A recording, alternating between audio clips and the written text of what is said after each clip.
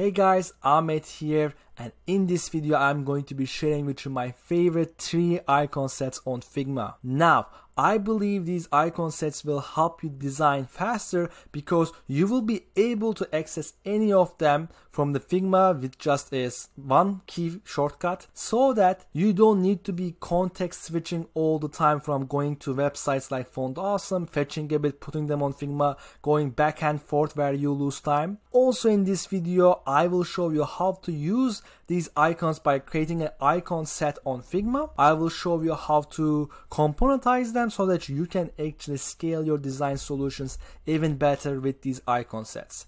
Now, let's get started. If you already know how to install plugins on Figma, just skip this section and go to the next phase. But if you're a complete beginner, I'm just gonna give you a very quick tutorial on how to do it. So if you're on a design file, you want to make sure you go to your home screen, which is by clicking this. So once you are in your home screen, you want to be going to your community and not your personal account. So I'm gonna click this drop down and click on this community. This will let me search public files or public plugins in our case and we might search for our case like our icons like material icons. And I'm gonna pick plugins and then you can install by clicking on the right side here any plugin you want. Alright, now the first icon set we are going to talk about is the material design icons. And if you type it on your community you can install it right here. What the benefit of this kind of plugin is and I'm gonna to open it I'm gonna press command slash and I'm gonna write material to find the icons. That's our shortcut. And on the bottom left you can see what I'm typing on my keyboard. I'm gonna click on it and it's gonna pop up. Okay? What matters for this plugin is that it is very large. It has thousands of icons and it is usually taking it from the material design which is you know for android very popular for the icons and especially if you are designing an android app this is probably the plugin you are going to use. Because it's so vast it has different options such as you can pick filled outlined so it also gives you the flexibility to basically change the view of your icon to change its stroke as you can call it. You can also change the size of the icon 24 to 24, 48, 96 and you can also change its color on the spot.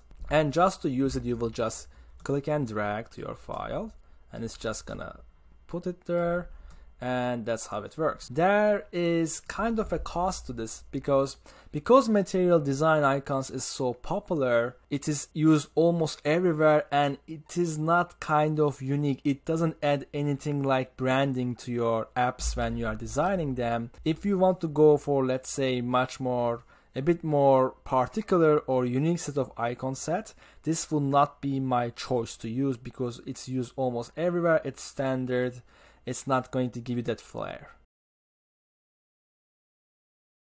Now the second icon set we will have is hero icons and what I really like about them is and I'm gonna show you how they look like on the Figma file so I'm gonna press command slash again gonna type hero icons and I'm gonna press it again to see it. What I like about hero icons is it is way less popular than the material design icons. It is less frequently used so that which means that you can actually use it on your custom project whether for production without worrying about if it's too simple enough you know without worrying if it will not be unique because chances are it will be. The cost of using this plugin to in my opinion is there is not as much icons. You can see the number 352 is but it's actually a 170 something for outline, 170 for solid. So if your needs for a full production app are very extensive, you might have some icons here that you do not have otherwise and you have to use other plugins to fetch and you might have a consistency issue.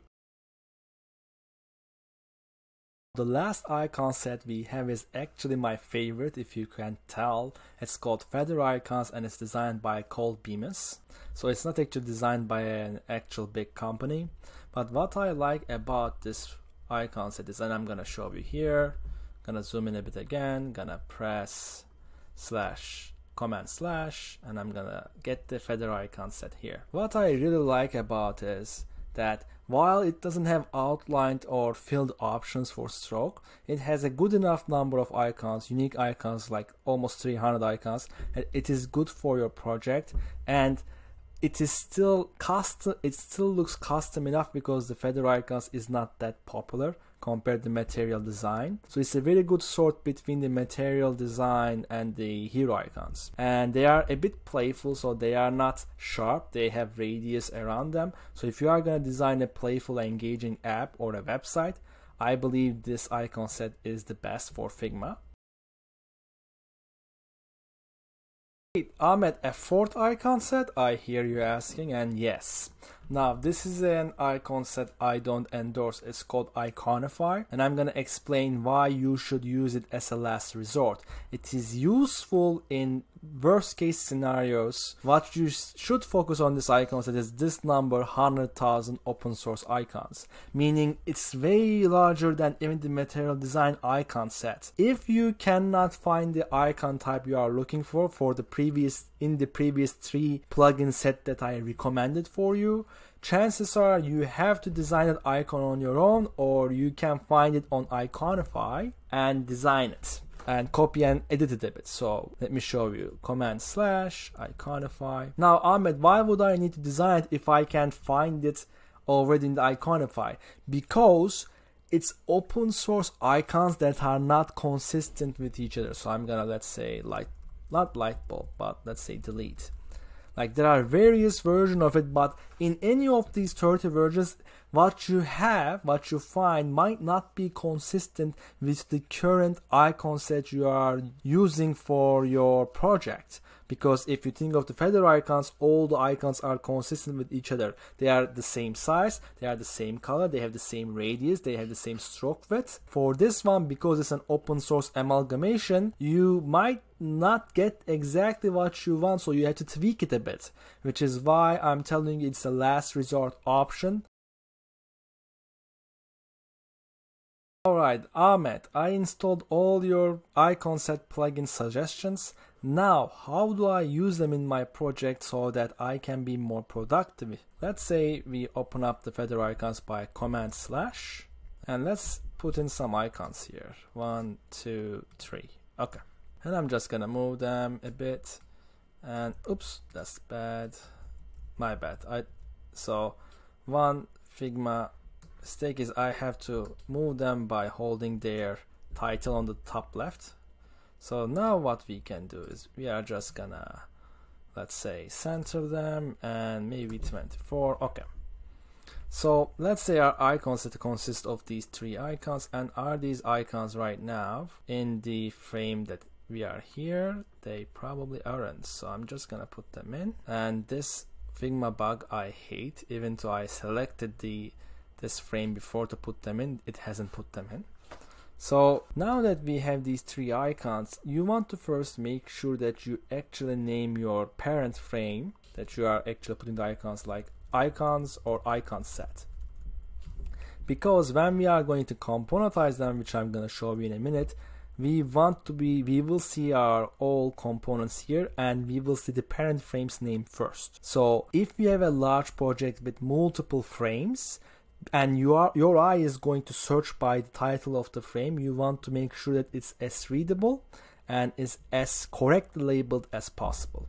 So icon set is what we are gonna name it. Now we have our icon set with the frame. What i'm gonna do is i'm gonna componentize each icon. And to do that to do that and to componentize each icon I'm gonna use my shortcut option command K. Now these icons have superpowers where if I actually have to use my icon in 50 different places and realize I have to change my icons, let's say stroke width or something, all of its children will update as well. So you don't need to go to 50 different places. You can just actually change it on one place and it will just scale. Then what you want to do is probably you want to create a page specifically for your icon sets. Now, what, what, why do I actually suggest this? I am actually suggesting this, and you, so let's move to this right click and let's move this to the icon sets. I am suggesting this because in a big project, you probably and let's see where it is it's right here you in a big project, you probably will have a lot of different files in your production file and your icons might be used in your high fidelity and low fidelity as well. So you might as well move them to a basically separate page. You might always leave them to the you know page where you are designing if the project is small, but I would advise to move them to a particular page. And that is how you can stand organized a bit. So I'm gonna show you if you go to the right side because now we have components we can actually go fetch them from here. And we have a separate page for them. If the project gets big enough we can always go to the pages and scroll and find where our icon set is if we need to change stuff. So this is how you can kind of arrange and you can understand like we did it with three icons but for 50, 400 the principle stayed the same. I hope you guys enjoyed this video and if you haven't already please smash that subscribe button below because if you do you will get a notification when I produce more Figma videos that will help you become a better designer on Figma and a better UI UX designer. So take care and have a fantastic week. Now before you go any further, I actually added two videos to the end of this video that I believe will help make you a better UI UX designer on Figma. Please watch either of them if you haven't already. I believe they will improve your design skills a lot.